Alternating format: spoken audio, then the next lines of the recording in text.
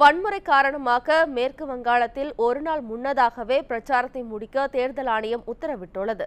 மேற்கு வங்கத்தில் பாஜக தலைவர் அமித்ஷா கலந்து கொண்ட தேர்தல் பிரச்சார பேரணியில் பலத்த வன்முறை ஏற்பட்டது.